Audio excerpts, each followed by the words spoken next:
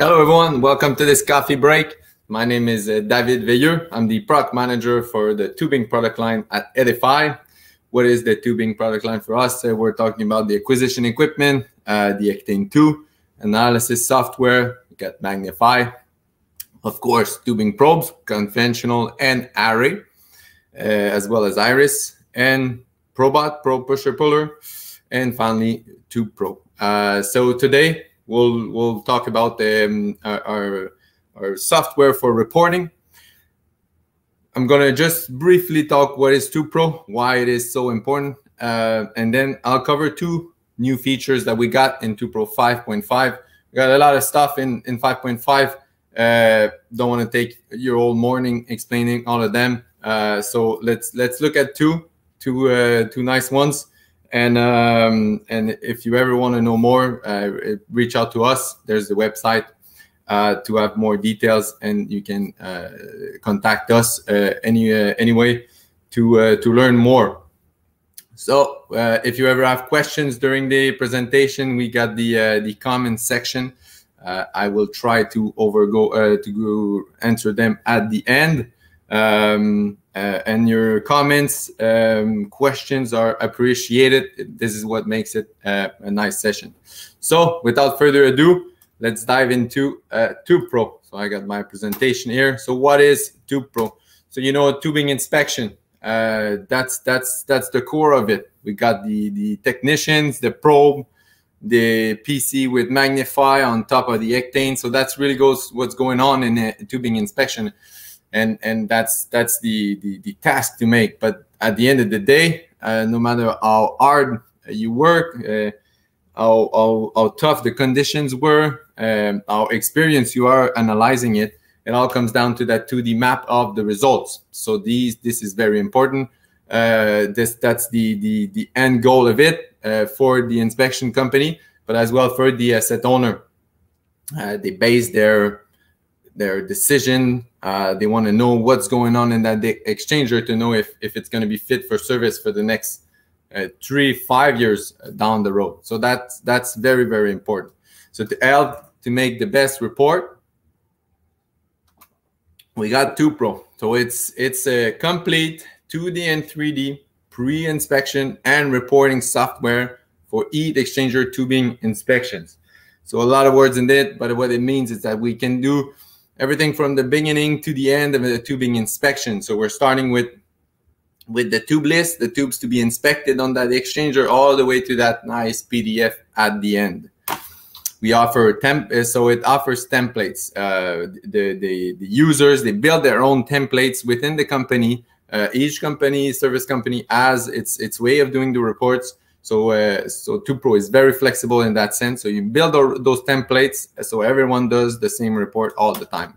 We got many visualization tools, charts, graphs, 3D model, 2D maps, etc. We got them all. And this is a software that is exclusively sold by Eddyfi, but it's compatible with other manufacturers and uh, analysis results. So if if you're not yet on on using Magnifi and Ectane, uh, you can still use Tube Pro for your reporting process. So first features, uh, optimized database management for project properties in the templates. Uh, that, that, that's the, the goal there is to improve efficiency and standardization of final reports. So a lot of word seems uh, a little bit complicated, but let's dive into it and I'll show you how once it's set up, it makes your life a lot easier uh, when doing the final report. So first we got properties. Uh, we call them project properties already in Tube Pro. Uh, so that's there. It's the, uh, the, the link to the text. So the gray items, uh, they're automatically updated when the text is changed on the right side. So as many as those fields are put in the report and in the drawings, automatically they will be updated. What is new is that we can link those properties to an Excel database. So you know you're doing the reports for the same clients year and over, year after year. Uh, so you don't have to type every time their uh, their information for the their their their main office, their job site. Uh, so everything can be set in the um, in the Excel database. So for example, we got our clients list. We can uh, create a, um, a drop-down list of our um, uh, all of our clients. Then automatically their address, city, state, zip, and phone are updated. Then we know that this client has three plans, so we can link everything together. And then again, address can be set. So we can do this for team members with their certification we can do this for the acquisition equipment, uh, the calibration date, feature, serial number, everything can be linked together. Same with probes. So I will uh, quit my um, uh, my presentation and I will show you in TubePro what it is actually doing. Make sure, okay, so you see this very well. So we got the links. So here, for example, I got my drop-down menu. I'm going to select downstream expert refineries. They've got three plants that I work there. Let's say I select the lake complex and you will see here, if I hit the refresh button, the information will be changed directly in my report. So very quickly, in, in seconds, I went on changing two fields, two drop-down menus, not even typing with my keyboard and getting all that information in my report how it is based it's we got the um, what we call the database it's an excel. So it's it's really an excel spreadsheet that you can import. Uh, i know a lot of, of you uh, inspection companies use these kind of of uh, of of, of um, i'm sorry of database for the your clients or uh, your um, uh, your your equipment. So what we can do is it's simply that we can open uh, if I'll have this here, templates, I got my database, gonna open. And yes, I'm gonna update my links. And I know that, for example, I got testing units, I got the information, and that's it. And if I wanna add a new client, so uh, new client, it's on uh, Coffee Break uh, Street, let's say. And go. We're gonna add another ones like this. I'm gonna click OK. I'm go back to my properties and I, I'll have this new client already updated in my list and uh, automatically these information will be added there. So very quickly, this can be uh, set up. We could do uh, the same again as I uh, in my database. I could create the links to um, uh, to my instrument list. So I got this. If I open it, I'm sorry. Okay, here we go. So if I add this, the, the testing unit internal code with the model, serial number, calibration, I could link all these items together here in my properties uh, that are there. Uh, so I, I could uh, do the setup. So that's the, the, the new feature about uh, TubePro that is very powerful for making the uh, report uh, faster. Uh, so you see this. Then the, um, the, the one thing that, that is also very nice is that everyone is using the same wording, the same same address, same details about about the clients or the way you work. so that could be important, especially when we're talking about material, um, the identification of the bundle, its location, etc. There are a lot of comments that you like, and sometimes inspection, most of the time, inspection companies like to keep it uh, standardized throughout the analysis uh, uh, team. Uh, so that's a nice tool for that. Next tool that we got uh, new in um, in TubePro 5.5 is the 3D model of uh, the water tube boiler. Uh, most of the jobs you do are on um, a shell and tube heat exchanger, but it is a, a, a we we know that uh, quite often you uh, you end up on a on a boiler inspection. Uh, so this is added value for your client, making a nice uh, bundle for them. So what I will do is that I will simply create a new set of tubes. Let's say I will go with 20 tubes by 30 uh, boiler tubes are a little bit bigger, so let's go for two and a half inch for this one.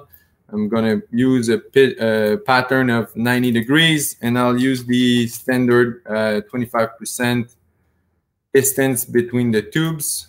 So if I go, I created my set of tubes. Now, to make it look a little bit nicer, I'm gonna select the about half of them. So I got my line 10 here. So I'm gonna select these ones uh, like this. Okay, I'm gonna move them slightly. Okay, like this looks a little bit better. Even more. Okay, now all I have to do is go in my 3D model. By default, it's a straight exchanger, of course. What I need to do is switch this to uh, mud and steam drum boiler. And here we go. We got a 3D uh, model, basic model. Uh, so that's, that's, but it's done very quickly.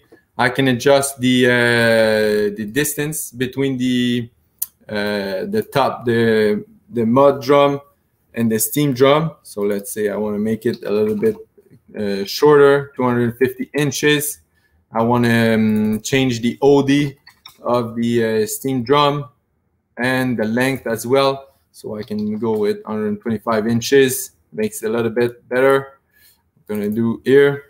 Uh, I'm gonna keep my uh, mud drum smaller, but the same length. So that's it we got the uh, the 3D model, uh, and any anytime I will update my default in my um, my tube sheet, we will be able to display the defects uh, inside uh, on the tubes uh, of all the exchanger. We even have um, a more advanced way of doing doing these these um, boilers so, um, so if you want to, if you want a, a more particular singular uh, design, we can access this menu with specify a border editor. I go in here and I have a lot more parameters to set up.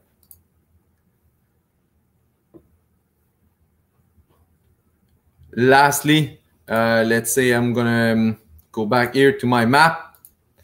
We got, I wanted to show you, gonna clear everything. And I want to show take the time to show you if you're not used to it the um, uh, the templates um, the photo detection. Sorry about that. So the capabilities we have so for TubePro if you ever get on the job and you take a picture of the exchanger you can automatically create your tube sheet with a picture. So if when I have this picture like this I can uh, set a region uh, sometimes to to break it in two. It makes it a little bit easier for the software. And automatically we see that the top uh, tubes have been identified and I can repeat the process for the bottom tubes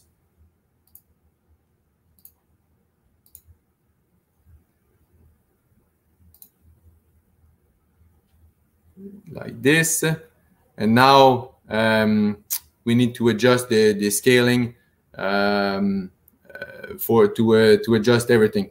So this is very powerful. Uh, we could also do um, the same thing with uh, PDF file. So what I will do is I will go back here and I'm gonna load it from the um, uh, this. So this one here is the the, the big condenser we wanna we wanna we wanna detect. So we select the drawing we click on open automatically will change the uh, the driver for the inspection and you saw on the PDF uh, that it was turned so what I need to do just to make sure it's like the PDF I'm just I'm gonna click on this rotate 90 degrees uh, tubes I'm gonna put them a bit smaller and that would be good I'm gonna wait for the program I know this is not very often that you will get to inspect those exchangers, uh, but every year or two years it does happen. And whenever it happens, uh, this is a major time saver. Uh, you see all the tubes have been detected. There's only a small one missing here, but I can easily add it no problem with this feature. I put my cursor, I add it to the top, and I think here there's a little extra one, uh, and then I remove it and that's it. My all my condenser, my 8000 tube condenser is already ready for the inspection with the list. So if I go back just a little bit to my presentation, uh, the, we got a lot of other features in Tube Pro. So first one is going to be comparison of tube to tube uh, inspection results. So we can add it to an extra uh, drawing. So if we have two data sets, we can compare the progression of the defects uh, for the old, old tube. We got a new complete report editor. In the past uh, we got we had limited capabilities but now uh, full capabilities. So that that is uh, uh, very nice for the inspection data table that you add at the end of your report. We have a view of the back sheet. We added the display on the shell. Uh, we got a new import workflow so important updates so whenever you're doing rescans of the data you don't you can only re-import uh, just those tubes that you rescanned no need to uh, to to to re-import everything. And we improved also the uh, the U-bend uh, display, uh, making the the defects shown in the bands and also linking top and bottom rows. And finally, it's uh, we've improved overall the speed and the stability of TubePro. So as I showed, Another key feature is going to be the photo detection, always very useful. Take advantage of it. You simply have to take a picture. I think now with, with our phones, the, the cameras are getting better and better, so it, it makes good. Just make sure you're straight in front. It does help a little bit, the software, and we will be able to uh, detect these uh, exchanger so that's that's pretty much it for uh, this morning. I don't want to take the, that too much too much time. Uh, so if you have if you're interested, you want to know more, uh, visit our, our, page, or if you got feedback, question, contact me on my email, uh, and also my LinkedIn page is also a good uh, reference if you want to know what is going on in our tubing inspection uh, product line. So I will go back to my uh, interface to see if there are any. Um, uh, so what is the uh, what type of license is this? So so for TubePro what we have is the um, oh sorry about that. Okay, so what we have here for uh, pro, we got the um, standard license. I mean, uh, whenever you buy uh, Pro, uh, you get one year of, of updates, and after that is perpetual. You use it as it is. If you want to get upgrade, then we can we can arrange that with uh, with a very small service fee uh, to get up to date. But whenever you buy TubePro, you buy a hard key and you have it. It's perpetual.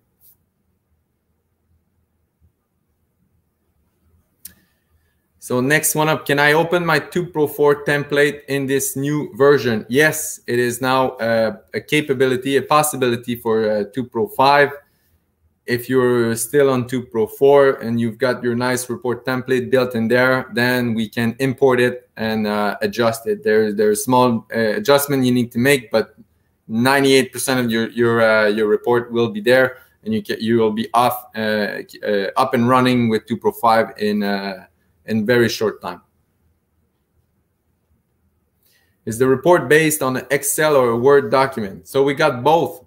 so whenever the way you work, um, we have Word. Uh, Word base um, is maybe sometimes uh, work a little bit better, uh, but still the capabilities of Excel are in the um, uh, in TubePro, uh, especially for the ones who, who, who started using TubePro 4 in the past and now uh, want to move to TubePro 5. So we, yes, we do have the capabilities of having those two types of file of of documents.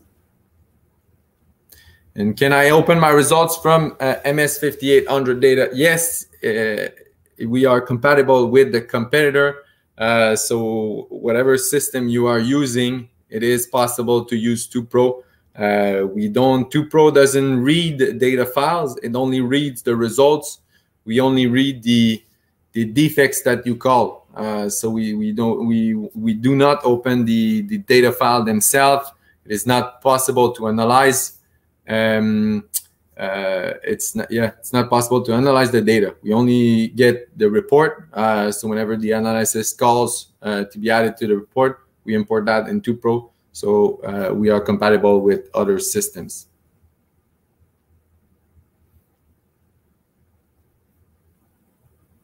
so I don't uh, see other questions. So thanks for uh, for joining me, and let me know if you have other questions.